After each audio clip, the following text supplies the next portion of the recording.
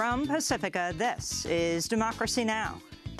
In addition to what we already know, any full accounting must also find out what, if any, contacts, communications, or connections occurred between Russia and those associated with the campaigns themselves.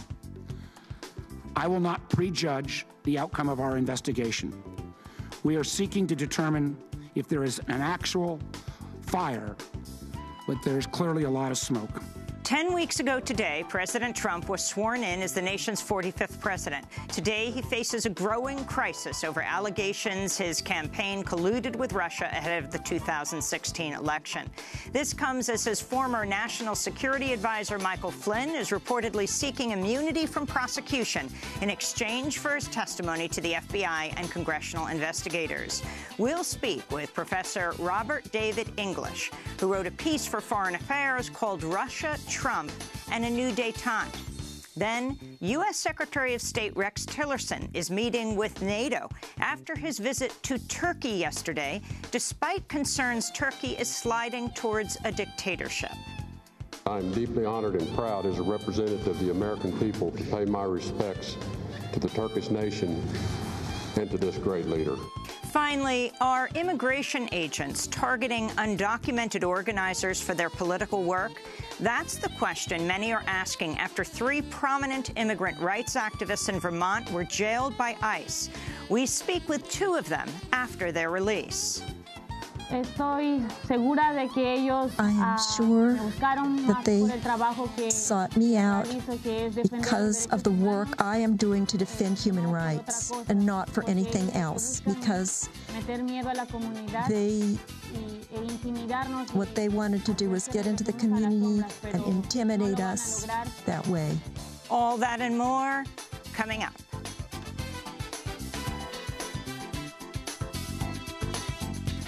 Welcome to Democracy Now!, democracynow.org, The War and Peace Report. I'm Amy Goodman. Donald Trump's former national security advisor, Michael Flynn, is seeking immunity from prosecution in exchange for his testimony to the FBI and congressional investigators probing the Trump campaign's alleged ties to Russia. That's according to a report Thursday in the Wall Street Journal. In a statement, Flynn's lawyer said, quote, General Flynn certainly has a story to tell, and he very much wants to tell it, should the circumstances permit, unquote. General Flynn was fired from his cabinet post in February for failing to disclose talks with Russia's ambassador before Trump took office. He's also accused of being paid $65,000 by companies linked to Russia in 2015. Flynn's bid for immunity follows his remarks last September blasting Clinton campaign staffers for accepting immunity in exchange for their testimony to the FBI about Hillary Clinton's use of a private email server. Five people around her have had have been given immunity, to include her former chief of staff. When you are given immunity, that means that you've probably committed a crime. News of Flynn's bid for immunity came as the Senate Intelligence Committee opened hearings Thursday on Russia's role in the 2016 election and its alleged ties to the Trump campaign. This is Virginia Democratic Senator Mark Warner, vice chair of the committee. In addition to what we already know, any full accounting must also find out what, if any, contacts, communications, or connections occurred between Russia and those associated with the campaigns themselves. I will not prejudge the outcome of our investigation. We are seeking to determine if there is an actual fire, but there's clearly a lot of smoke. Thursday's hearing focused less on the Trump campaign's alleged dealings with Russia and more on how Russia used what one lawmaker described as propaganda on steroids to influence the election and to undermine the U.S. media.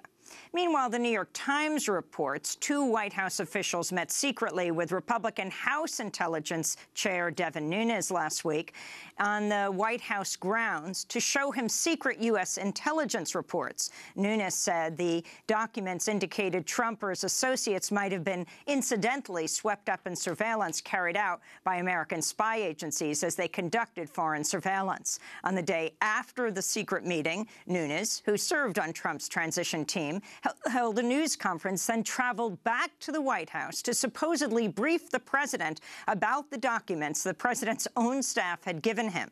On Thursday, the ranking Democrat on the House Intelligence Committee, California Congressman Adam Schiff, responded to the revelations about the documents shown to Nunes.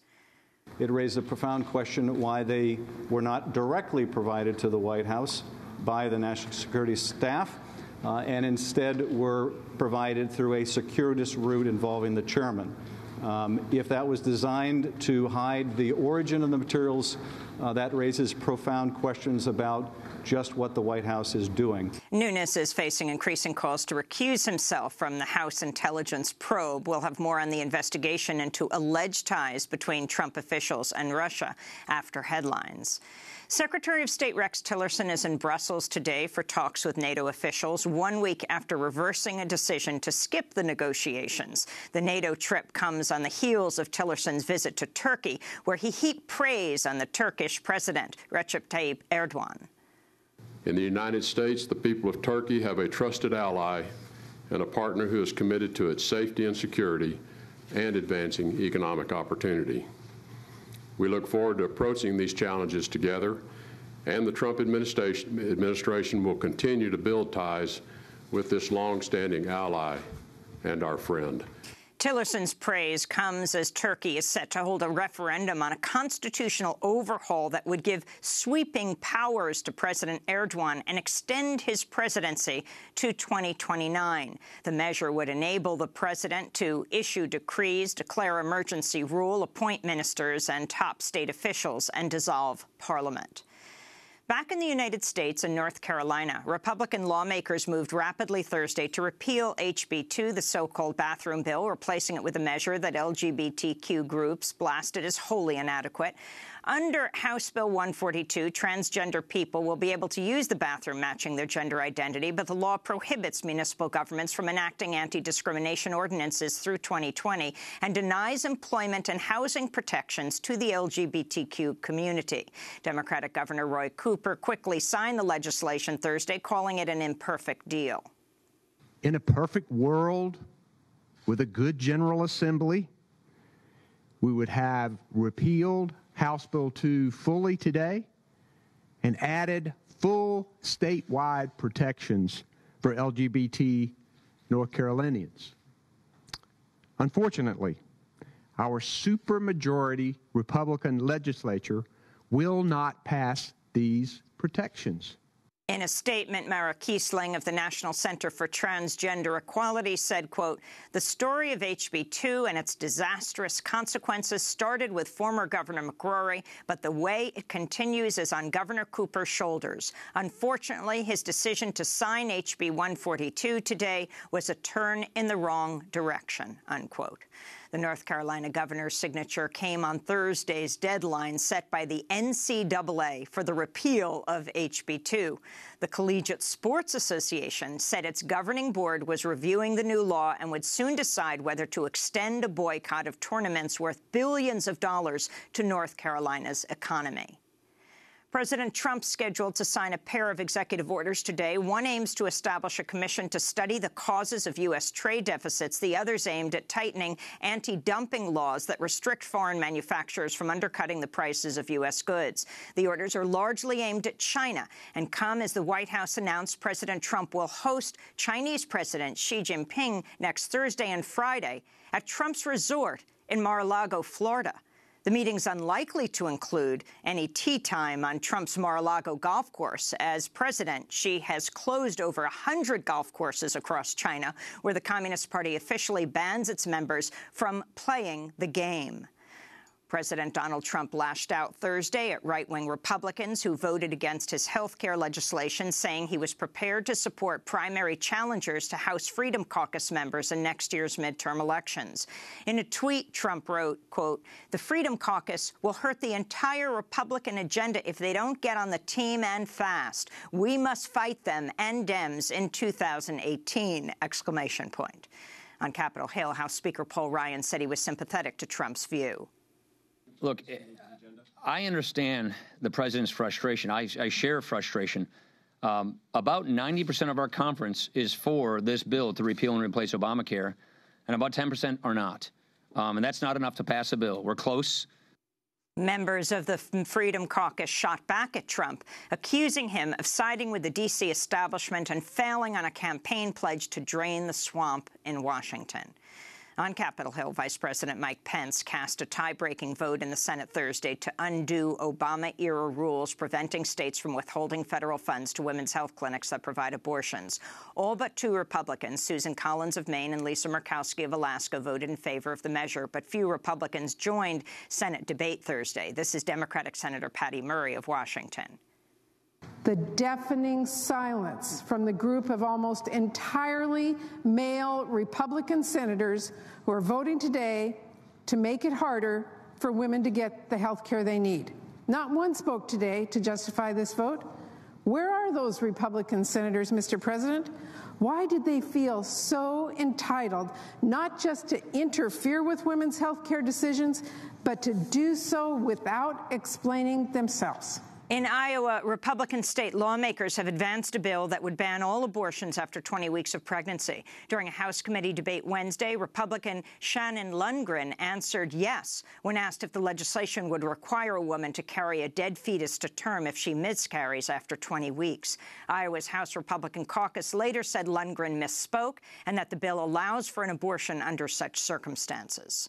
Meanwhile, in Arkansas, a bill signed into law Wednesday by Governor Asa Hutchinson will require doctors to try to interrogate patients about the sex of their fetus before they're allowed to have an abortion. Doctors will also need to attempt to obtain a woman's medical records before proceeding. The law is ostensibly aimed at preventing sex-selective abortions, but pro-choice groups say it's aimed at adding more obstacles to abortions.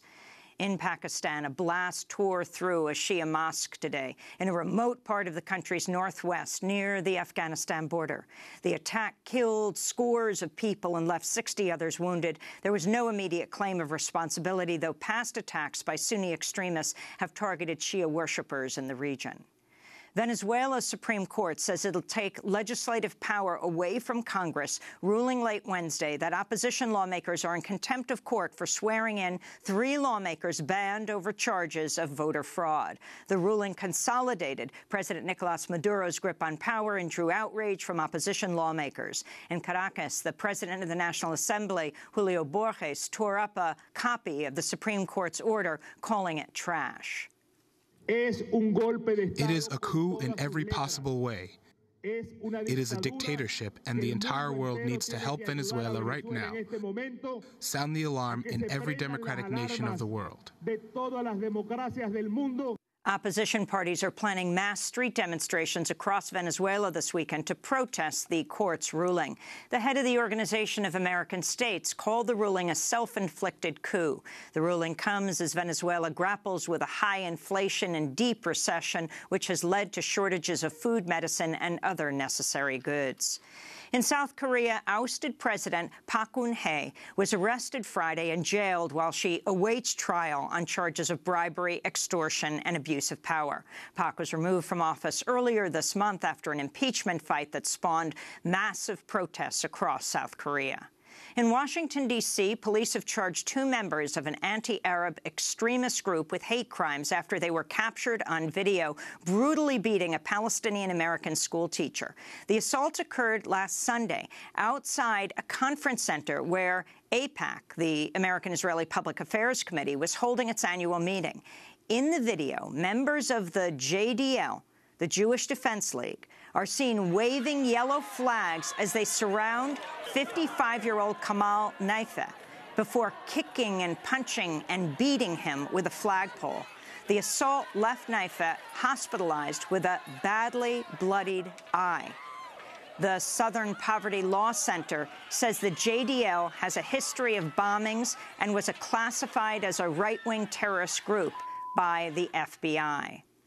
And in the Israeli-occupied West Bank, Palestinians throwing rocks clashed with Israeli soldiers Thursday who responded with volleys of tear gas and rubber-coated bullets. The protest came on Land Day, marking the anniversary of the 1976 killing of six Palestinians protesting the Israeli confiscation of Arab land. This is Palestinian activist Abdullah Abu Rahmah. Land Day should be like this resistance against the settlers, resistance against occupation. They tried to arrest two protesters, but we were able to release them. Land Day is a day that defends the land. It is about planting, and it is also about resistance. This comes as Israel's security cabinet voted late Thursday to approve construction of Israel's first new settlement in the occupied West Bank in over two decades. And those are some of the headlines. This is Democracy Now!, democracynow.org, The War and Peace Report. I'm Amy Goodman. Ten weeks ago today, President Trump was sworn in as the nation's 45th president. Today, he is facing a growing crisis over allegations his campaign colluded with Russia ahead of the 2016 election. On Thursday, there were a number of developments. Trump's former national security advisor, General Michael Flynn, is reportedly seeking immunity from prosecution in exchange for testimony to the FBI and Congress. Flynn was fired from his cabinet post in February for failing to disclose talks with Russia's ambassador before Trump took took office. Flynn is also accused of being paid $65,000 by companies linked to Russia in 2015. Meanwhile, the New York Times has revealed one of Flynn's former aides was one of two White House officials to secretly meet with Republican House Intelligence Chair Devin Nunes last week on the White House grounds to show him secret U.S. intelligence reports. Nunes said the documents indicated Trump or his associates might have been incidentally swept up in surveillance carried out by U.S. spy agencies as they conducted foreign surveillance. On the day after the secret meeting, Nunes, who served on Trump's transition team, held a press conference, then traveled back to the White House to supposedly brief the president about the documents the president's own staff had given him. The New York Times identified Nunes' sources as Ezra Cohen Watnick, the senior director for intelligence at the National Security Council, who once worked for Michael Flynn, and Michael Ellis, a lawyer in White House counsel's office who was previously counsel to Nunes' committee while Nunes is now facing calls to recuse himself um, from chairing the House intelligence probe into Trump's ties to Russia. The Senate Intelligence Committee held its first public hearing Thursday on the issue. The hearing focused less on the Trump campaign's alleged dealings with Russia and more on how Russia used what one lawmaker described as propaganda on steroids to influence the election and to undermine the U.S. media.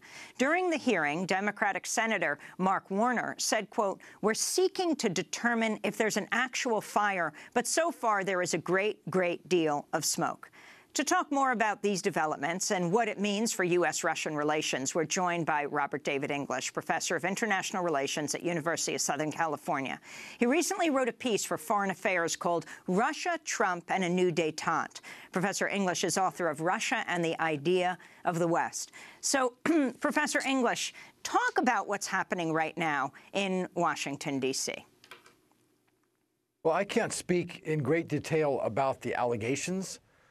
Trump administration officials had improper business ties or colluded with the Russian government or Russian intelligence in meddling in the election. Uh, I await these investigations in Washington turning serious. So far, as one of your uh, commenters said, there's more smoke than fire, and we see the committee members fighting with each other and a lot of partisanship in Washington. So we're not any closer to the truth. What's distressing, what's concerning is that this is the show instead of a serious discussion of U.S. Russian relations and how we might improve them. Things that candidate uh, Trump, you know, back when he was a candidate for president and campaigning, fairly reasonably outlined uh, that uh, he sought better relations, that the U.S. and Russia could cooperate on a broad range of issues, and essentially that we would meet them halfway. This is now vanished in this political haze and infighting in Washington. So you have. Um, the, in the committee's opening remarks, uh, Mark Warner saying Russia sought to hijack our democratic process. Um, he described it as Russian propaganda on steroids designed to poison the national conversation in America. Your response? I think that's somewhat overstated based on what we know publicly at least, um, again, what do we have? We have the hacking into the Democratic National Committee and release of some emails that contain nothing classified, national security related, but were embarrassing because they exposed some kind of internal corruption or misdeeds in the Democratic Party. We also have, of course, what he's calling propaganda on steroids. That would be Russian state TV, the RT, RT or Sputnik networks, uh, as well as various internet sources that certainly are propagandistic. Uh, the problem for me in Warner's remarks is that these vehicles reach so few people, right? RT has a minuscule portion of the American or European television market, and same with the others, that this kind of propaganda can be as high on steroids as it wants to be. It's just not having much impact. So I wish the committees would get past this rehashing of what's already been said a dozen times in various intelligence reports, you know, and exaggerated and get to the heart of the matter. Was there illegal collusion? Was there cooperation between the Trump administration, campaign, or future officials and the Russian government? Right now, it's just sort of rehashing and inflaming, um, you know, a lot of smoke, but still very little fire. I want to turn to comments by Florida Republican Senator Marco Rubio, who revealed during Thursday's Senate Intelligence Committee hearing that he was the target of Russian hacks right then, he and his former presidential staff. In July of 2016, uh, shortly after I announced that I would seek reelection to the United States Senate, former members of my presidential campaign team uh, who had access to the internal information of my presidential campaign were targeted by IP addresses uh, with an unknown location within Russia. That effort was unsuccessful. I'd also informed the committee that within the last 24 hours, uh, at 10:45 a.m. yesterday, uh, a second attempt was made uh, again against former members of my presidential campaign team who had access to our internal information, again targeted from an IP address from an unknown location in Russia and that effort was also unsuccessful. Professor Robert David English, uh, can you comment on this?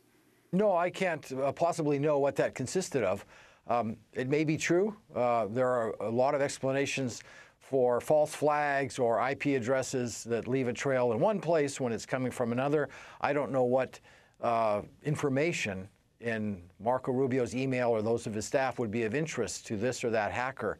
Um, you know, I can't, I simply can't comment on the details of something that was just revealed of this sort. Um, if it's part of a broad pattern, of course, it's disturbing. Um, again, it didn't turn the election. It was one of many factors.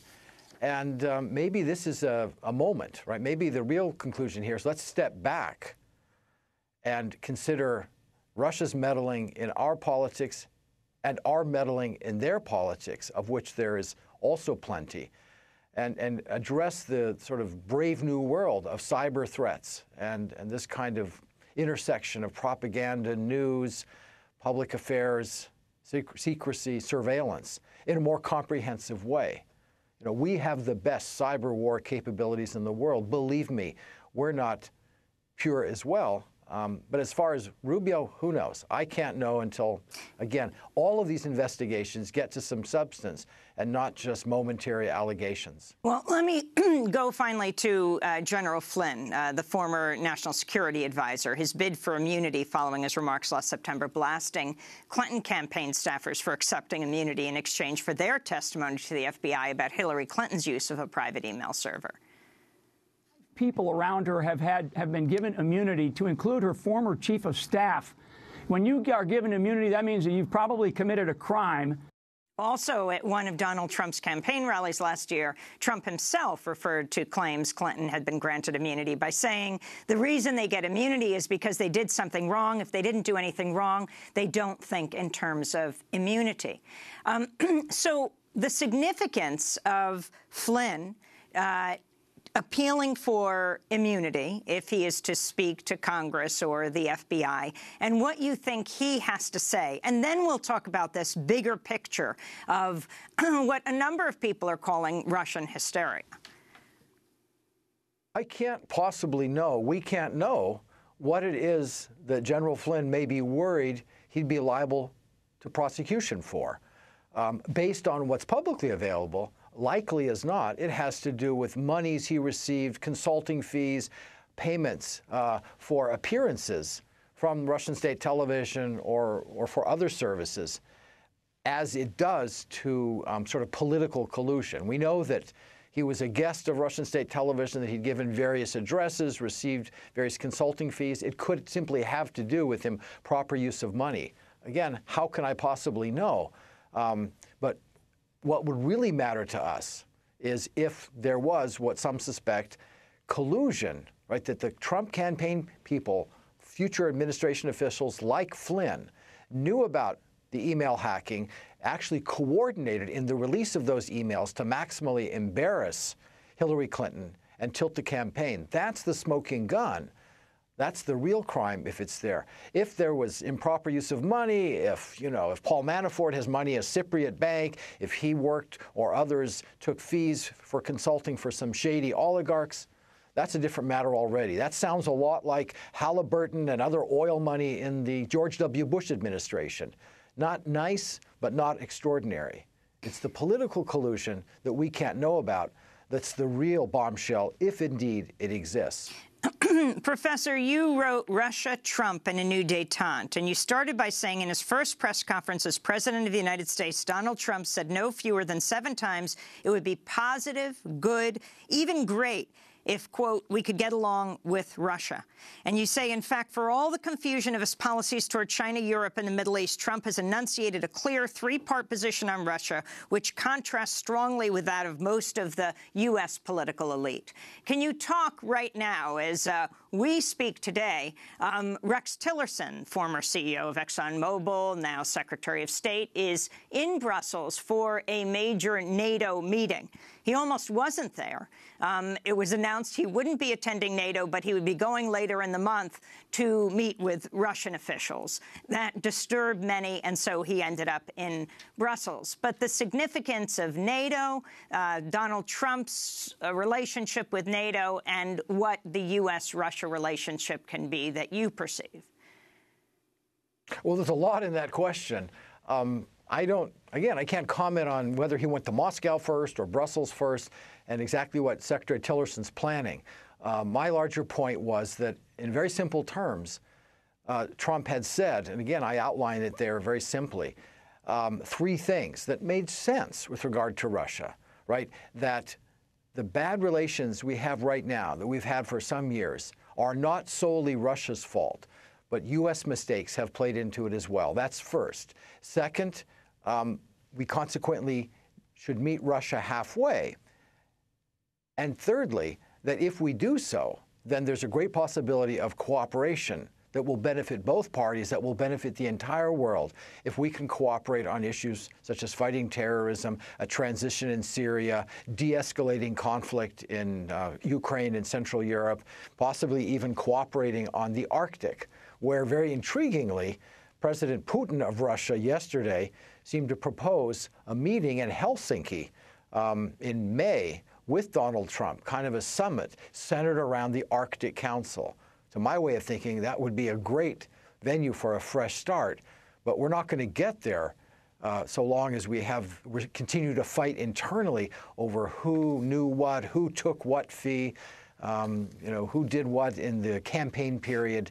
We need to get that out there, have these investigations really get to the heart of the matter, and not see congressmen and women fighting with each other, and, and, um, and then move past, take whatever corrective or punitive action is necessary, but then get on with foreign policy and not fighting about foreign policy. Professor English, you write, few Russians who endured this corruption and humiliation have much sympathy for U.S. anger over Russian meddling in the 2016 election. With any perspective on the 90s, it's hard to fault them. Can you elaborate on uh, what the U.S. has done in Russia? Sure. Um, now we're going back 20 years or more. Um, but what I wrote in part about in that article was if we want to understand Russia's point of view, President Putin and those around him. And of course we do. Whether or not we agree with it, we need to understand how our adversaries see us, how all other nations see us through their eyes. And if we do that, we realize very quickly that their frame of reference has a lot to do with the mistakes and yes, the U.S. interference in Russian politics in the 90s when we directly intervened in a presidential election to boost a losing candidate into a winning position that was Boris Yeltsin.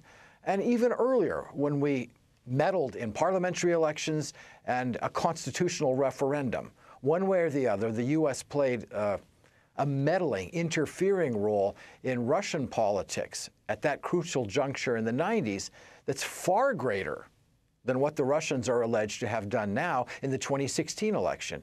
Now, two wrongs don't make a right, but again, we need to understand why President Putin, why the political elite in Moscow uh, kind of sees us as acting under a double standard and a lot of hypocrisy um, when we object to their meddling in our elections. Hmm. Professor Robert David English, I want to thank you for being with us. Professor of International Relations at University of Southern California. We'll link to your piece in Foreign Affairs, Russia, Trump, and a New Détente. Professor English is the author of Russia and the Idea of the West. This is Democracy Now! We'll move from Russia to uh, Secretary of State Tillerson in Brussels today at NATO, having just come from Turkey. Many are concerned Turkey is uh, making um, with its new referendum is leading to a dictatorship. Stay with us.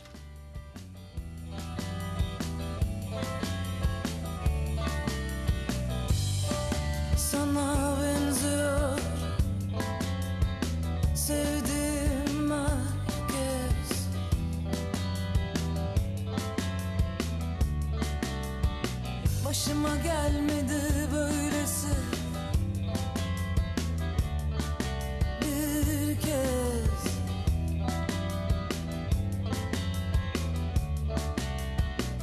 Zannettiklerim oldu inandıklarım. Anlattıklarım vardı ve de anladıklarım. Aradım ararken bir anda bulduklarım oldu. Ama sen yoktun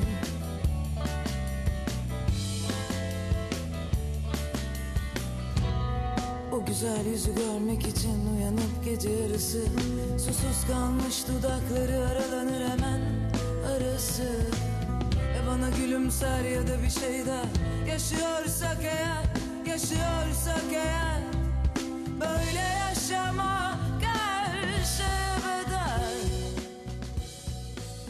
Storms by Calvin here on Democracy Now!, democracynow.org, The War and Peace Report. I'm Amy Goodman. Secretary of State Rex Tillerson's in Brussels for a major meeting on NATO, where he argued the United States is spending a disproportionate share on defense compared with its 27 partners. The meeting follows Tillerson's visit to Turkey yesterday, where he tried to bolster relations with Turkey, despite concerns it's sliding towards a dictatorship. So far during his trip, Tillerson has made no mention of mass arrests of protesters, a purge of opponents that followed last year's failed coup attempt, and a crackdown on the news media.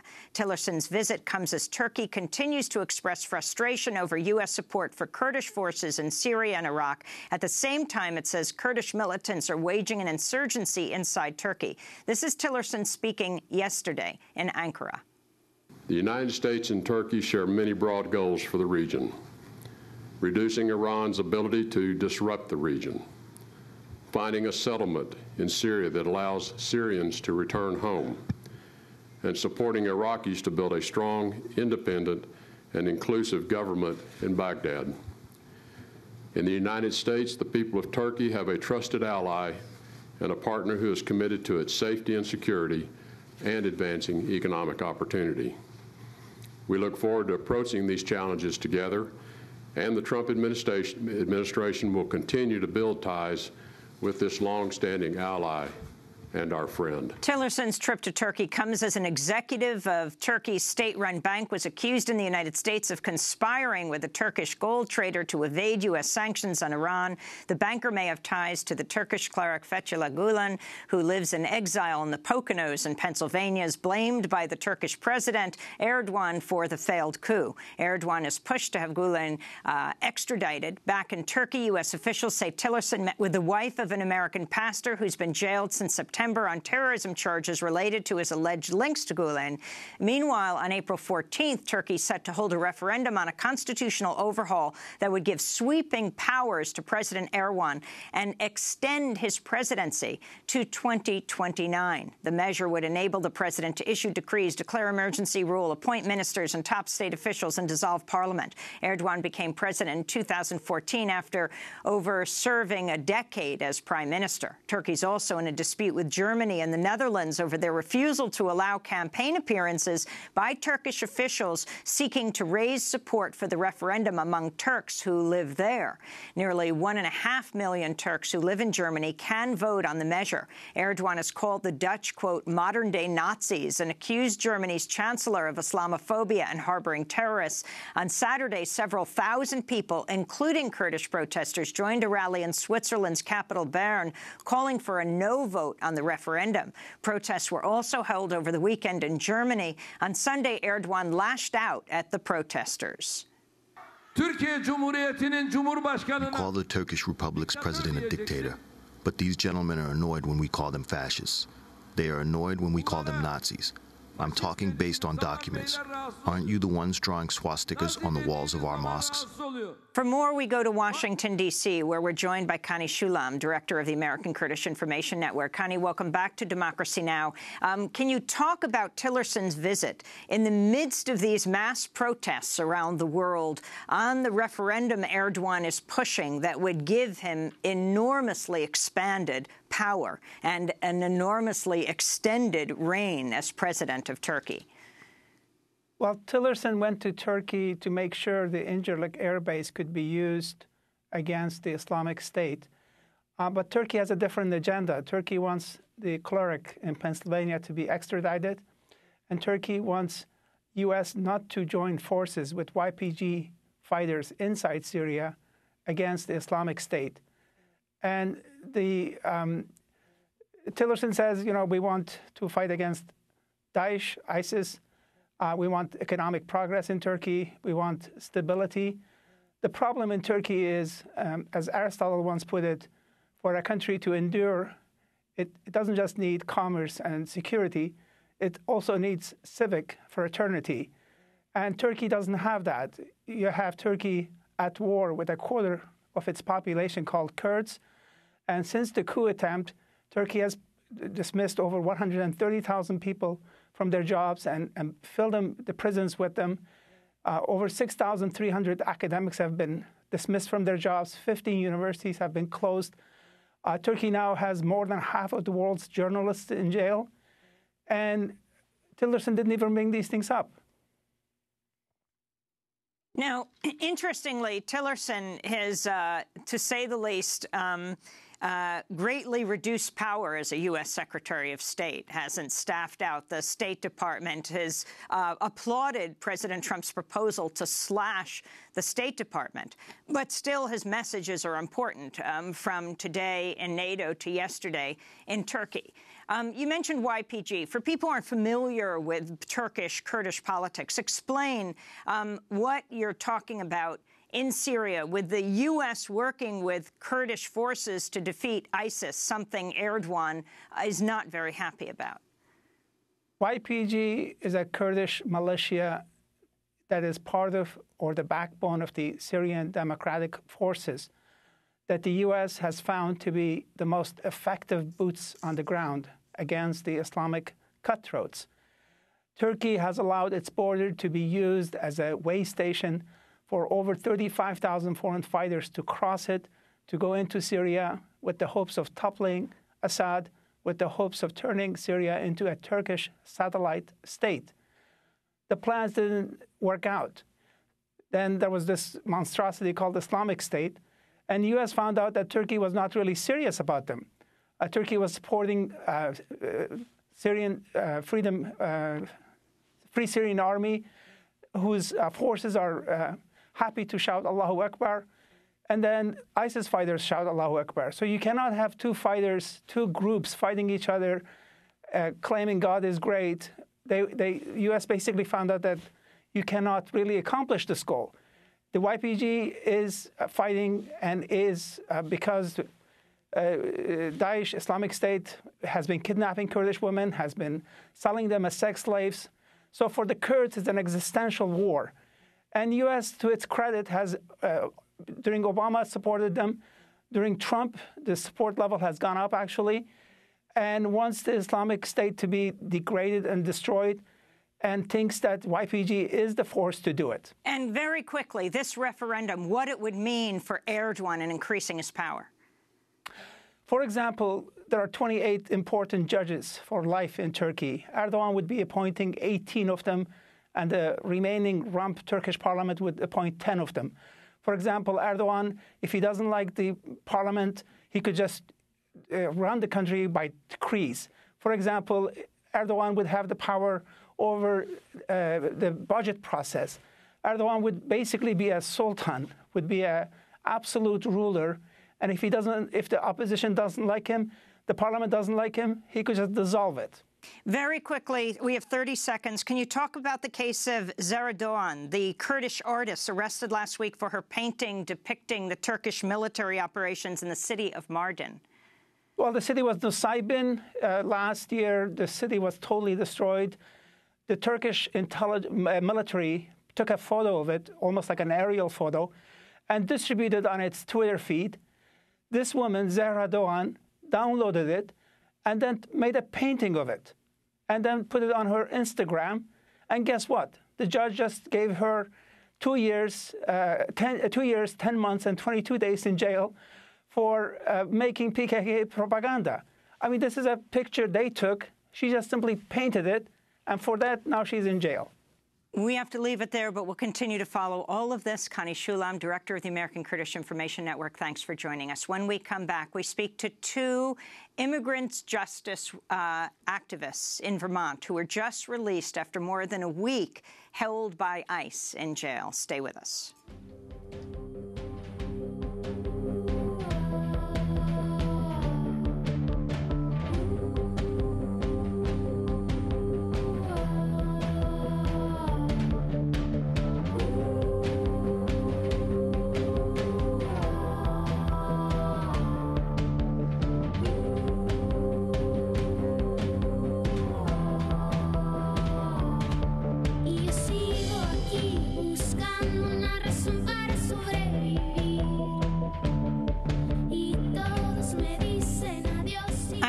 Here by Carla Morrison here on Democracy Now!, democracynow.org, The War and Peace Report. I'm Amy Goodman. Are um, immigration agents targeting undocumented organizers for their political work? That's the question many are asking after three prominent immigrant rights activists in Vermont were jailed by ICE in what local organizers are calling a clear case of political retaliation. 24-year-old Enrique Balcazar and 23-year-old Zuly Palacios were freed on Monday after spending 11 days in jail. Both are leaders of the group Migrant Justice in Vermont. They were arrested by undercover ICE agents in Burlington, Vermont, earlier this month as they were leaving the Migrant Justice Office. Balcazar, who is known as Kike, serves on Vermont Attorney General T.J. Donovan's Immigration Task Force, which was created to respond to the Trump administration's immigration policies. A third activist with migrant justice. 23-year-old Cesar Alex Carrillo remains jailed. He was arrested by ICE outside a courthouse two days before Zuly and Kike were arrested. In a moment, we'll go to Boston to speak with their lawyer, Matt Cameron. But first, let's turn to Kike and Zuly themselves. On Thursday, I sat down with them two days after they returned home to Vermont. I began by asking Zuly Palacios about how long she spent in jail. Fueron 11 días largos de mi vida. 11 days. It was the 11 longest days of my life. I will never forget it. Can you describe the conditions of your detention, where you were held the longest, and what it was like in that jail? Bueno, la primera vez que me trasladaron the first time they took me a la cárcel de aquí, to the jail here in Vermont, es un lugar donde it's a place where ningún ser humano no human being should be because you're completely enclosed. It was very small space, and it was practically torture, psychological torture. I had no contact with anyone. I was captive there by myself, one tiny window día uh, y acompañado de, de oscuridad. And just me in the darkness. It was horrible. And I could hear these doors slamming all the time. I couldn't see the other prisoners. I was without communication of any type. Kike Balcazar, could you talk about your detention? Um, you were held separately from Zuly? Yes, unfortunately, it was really an attack against the communities with the new administration of President Donald Trump. He's really attacking the immigrant communities. What happened to Zuly and myself and Alex, who is still in jail, was very sad experience. The way they are persecuting the community and people who have no criminal records, who are merely defending our rights. We believe in the values of the United States. We believe in this country and we have a beautiful community in the States. From the moment they detained us, we were very nervous. We had no idea what was happening. At first, we didn't know who these people were. We were terrorized, really. Then they separated us. I spent 36 hours in Swanton, where I had no contact. They wouldn't let me make any phone calls until I could finally contact my lawyer after demanding it. I wasn't able to get through to him. Everything we went through there was very sad for Zuly and myself. It was basically torture for us. It's really sad what they're doing to innocent people there. Can you talk, uh, Kike, about the Milk with Dignity campaign that you co-founded two years ago? How are you organizing? What have you been organizing around in Vermont?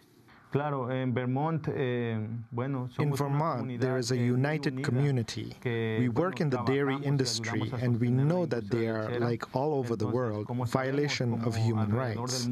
Things we really do not want to endure.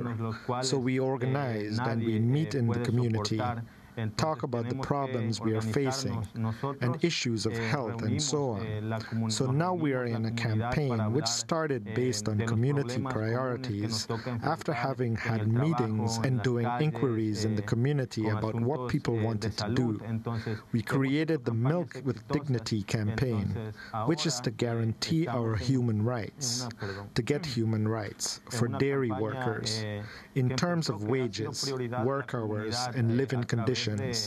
We do hold the big companies responsible because they are getting rich off of us, the immigrants in that state. One of the companies um, that you have targeted is Ben & Jerry's, uh, based in Vermont. What has been Ben & Jerry's response, and what are you demanding of them, Kike? Claro, eh, nosotros después de, de aprender del modelo exitoso de after we learned about the successful model of the Fair Food Program in Florida, which guarantees human rights, which has won human rights for the workers, we identified with that. So we were able to identify the big companies in Vermont. Ben & Jerry's is a big company, an ice cream company, and it was founded in Vermont and is known all over the world. They have a philosophy of social justice, which is good lo cual es muy bueno, pero eh, no tiene eh, protecciones para los que hacemos el trabajo desde ahí. But there were no protections for dairy workers, eh, people working with cattle. So two years ago, we started talking with them and we had a meeting. In the beginning, it was really difficult to get them to the table. We started talking about immigration, worker and labor issues. al principio fue muy difícil, nos botaban de la mesa, que no teníamos nada que hacer ahí, que eran cosas de labor, que eran cosas de inmigración, y nosotros insistimos hasta llegar a una campaña eh, donde firmaron un acuerdo de corporación Eh. Eventually, we had a campaign where we got them to sign an agreement to make the program of human rights a reality. Eh, it took two years and we were still negotiating, but we would like them to sign a contract with us and to eh, finish this and guarantee our human rights in Vermont.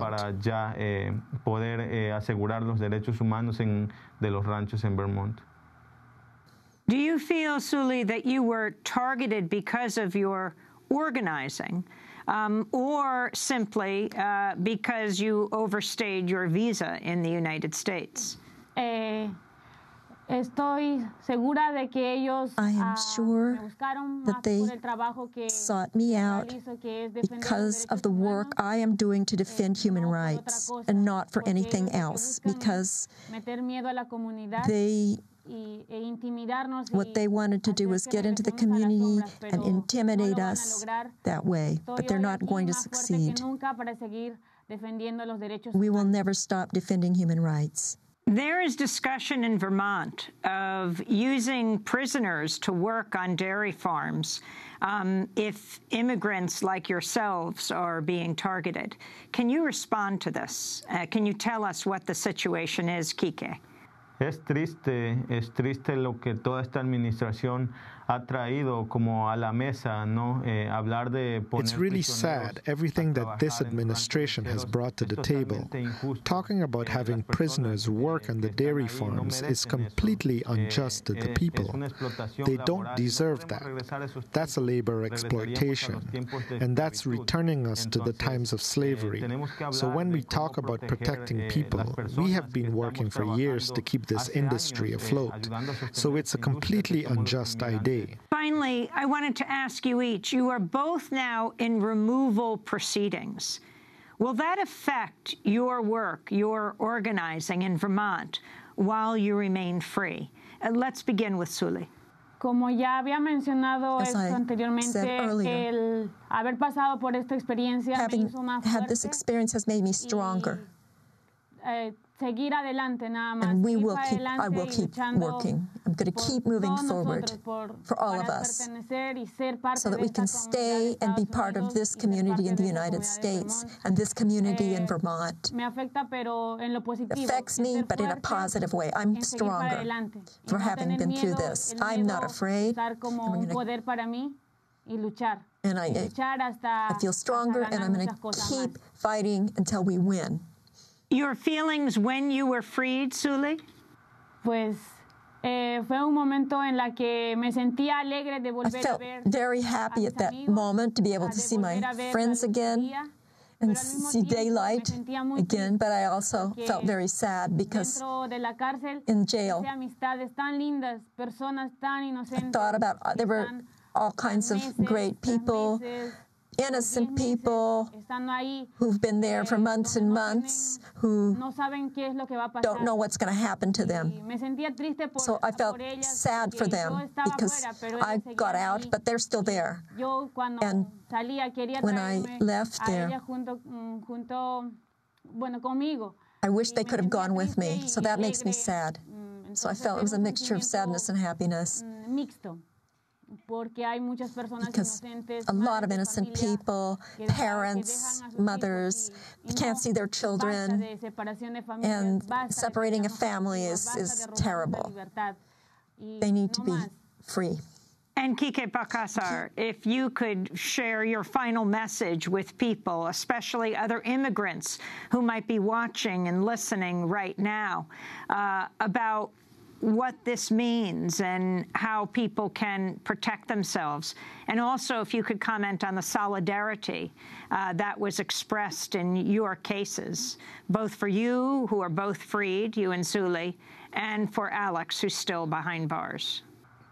Claro. Primero, este, quiero dar el número de Ben Jerry's. Como mencioné, estamos en la campaña Leche con Dignidad, entonces todavía no tenemos cerrado un acuerdo. First of all, I want to give the eh, number eh, of Ben and Jerry's. We still have not signed an agreement with them. Eh, I invite everyone to call Ben and Jerry's and tell them that they have to sign that agreement with the dairy workers. I insist. El número es 802 the number is 802 846 1500. So it would be a great show of solidarity with us if you would call Ben and Jerry's and tell them to sign an agreement with us. For my community all over the country, fear is not an option. This administration is trying to force us back into the shadows. They are intimidating people. They are trying to make police collaborate with immigration. It's completely unjust for us. So I ask the community don't give in to fear. Let's not be afraid. Let's defend our rights. We want to be part of this community all over the country and defend our rights always. Let's not lose faith. Let's not lose hope. That's my message that I want to send to all the Latin American compañeros all over the world. Siempre que no perdamos la fe y que nos organicemos siempre. Entonces ese es el mensaje que yo quiero We are confronting very bad times in this country, and for sure fear exists, but that's not a barrier for us defending our rights and changing this. That's Enrique Balcazar. Uh, his nickname is Kike, and Zuly Palacios we spoke to him on Thursday, just days after they were freed Monday after spending 11 days in jail. As we go right now to Boston to speak with Matt Cameron, immigration attorney, managing partner of Cameron Law Offices in Boston, representing the migrant justice organizers. Matt, welcome to Democracy Now! Explain what they've been charged with and why Alex Carrillo is still in jail. Thank you, Amy. Good to be with you. Uh, these, I think it's very important to understand, as in all removal proceedings, are civil charges. There's no crime here. They've been charged with, uh, respectively, in Zuly's case, overstaying a visa, and and uh, in Kike's case, and being here without permission, and same with Alex. And uh, Alex does remain in jail uh, with no bond due to a case that was dismissed in Vermont that the Vermont State's Attorney's Office did not see fit to prosecute. In their prosecutorial discretion, withheld prosecution and actually allowed him to go free. And the federal government immediately picked him up, and uh, he was denied any opportunity for bond after that out to Immigration's Customs Enforcement to ICE to talk about the cases of, uh, of Enrique and Zuly and Alex and their arrests. ICE spokesman for New England, Shawn Neudauer, said ICE does not target individuals based on political beliefs or activism. The reasons for the recent arrests in Vermont have already been addressed publicly. On March 15th, ICE officers arrested a 23-year-old Mexican national who was charged locally with a DUI and self-admitted to federal authorities he unlawfully entered the U.S. Two days later, ICE arrested a female foreign national who surpassed the duration of a lawful visit by nearly a year, and another individual who was with her in the vehicle at the time and who also has an active immigration violation. These were lawful arrests and conducted completely within ICE's legal authority under federal law, unquote. That's the statement of ICE. Matt Cameron, if you could respond. That is the statement of ICE. Uh, but that forgets a long, long history in this country of political targeting of non-citizens and the use of the deportation system to achieve our ideological and political means. And I believe uh, you can hear it. Uh, my clients are perfectly capable of advocating for themselves. They just did. What we just heard is exactly why they were in custody for 11 days, because they have a very powerful message for their fellow workers, for their fellow undocumented, and uh, for the country. And I, I, think that's really what brought them to attend to immigration's radar. So, can you say how this meshes with President Trump saying he's going to go after, um, you know, drug uh, drug gang members and terrorists, and basically, as he says, bad hombres, uh, but not talking about these status violations. No, it, it, it in no way. I, now, Trump, of course, has broadened the enforcement priorities so that they can catch anyone in the field that they encounter. But I've seen the arrest reports. I heard the government's argument in court, and these were extremely targeted. These these two were hunted down by immigration. This was a long investigation. They were surveilled. They were harassed. They were followed, and uh, they were arrested. And there's a five-page arrest report in each case detailing this investigation. So I don't understand at all how this is an appropriate use of federal resources when there are only 5,000 ICE agents out in the field and 12 to 16 million undocumented people. Why would you start with Vermont farm workers? Why would you start especially with those who are fighting for better working conditions and for safety standards? What chance do they have of remaining in the United States and Alex of getting out of uh, an ICE jail? I don't want to comment too much on what's coming. Uh, we have a lot of questions that the government's going to need to answer. But uh, Alex especially is eligible to immigrate through a marriage visa. We've just filed that, and uh, we're hoping that's going to be expedited. And he's going to have to go back to Mexico to process that. It's a very long road. There's nothing quick about it, especially uh, given his circumstances. There's a misconception, I think, that just because he has a U.S. citizen wife and child that this should be easy or fast, but that's certainly not the case. Matt Cameron, I want to thank you for being with us, immigration attorney uh, in Boston, representing uh, migrant justice organizers Zuly Palacios and Enrique Balcazar. This is Democracy Now! That does it for our broadcast. A very happy birthday to Mike Burke. Democracy Now! is produced by Mike Burke, Deena Guzder, Nermeen Shaikh, Carla Wills, Laura Gaddis, Diener Sam Alcoff, John Hamilton, Robby Karran, Hany Massoud, Trina Durr, and Andre Lewis. We have a job opening for a news fellow go to our website, democracynow.org. I'm Amy Goodman. Thanks for joining us.